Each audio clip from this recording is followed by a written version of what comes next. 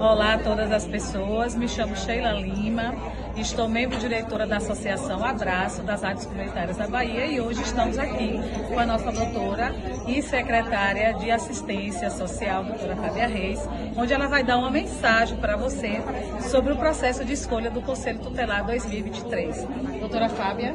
Extremamente importante que todas as pessoas participem. Então, quem pode votar acima de 16 anos, leve seu documento de identidade, procure o endereço aí na sua comissão para que a gente fortaleça o Conselho Tutelar.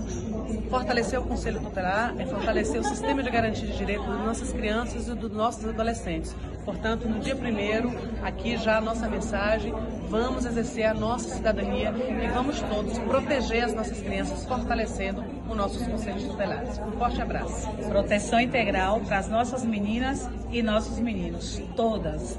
Um beijo e dia 1 de outubro, não esqueça, escolha o seu conselheiro e sua conselheira tutelar. Vem com a gente.